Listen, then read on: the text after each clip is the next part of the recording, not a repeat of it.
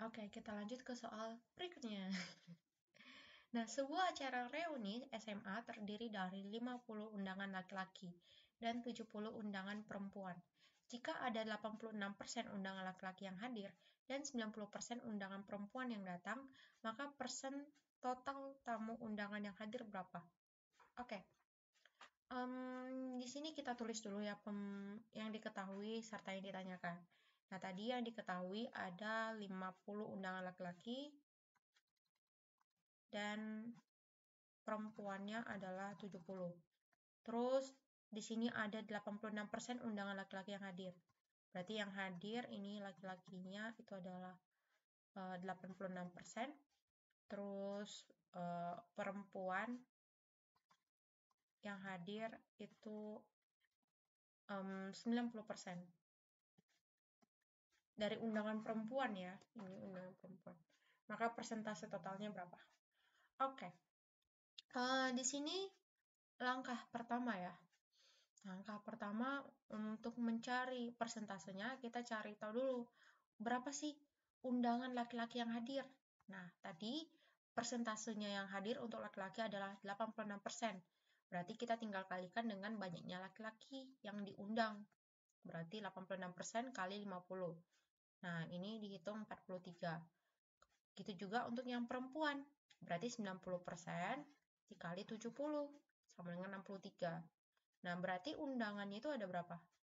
Yang diundang secara keseluruhan berarti 50 tambah 70 120.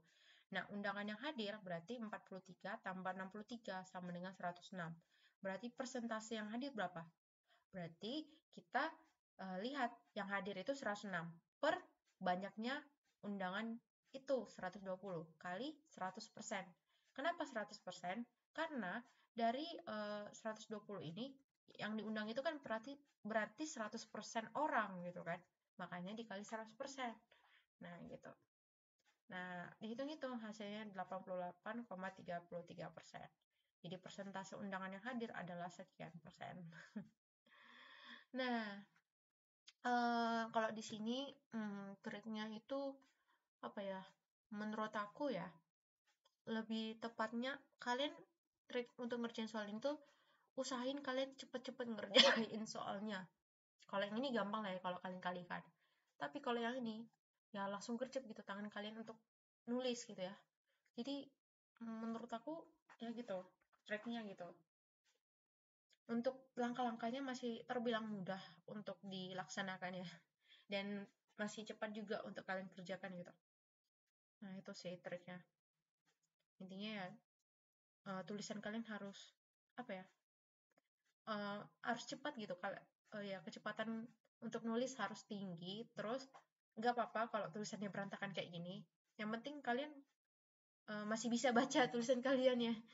Dan juga ya istilahnya ya masih uh, ngerti yang mana nih posisinya nih posisi presentasinya oh di sini di sini di sini di sini. Nah gitu ya. Oke. okay.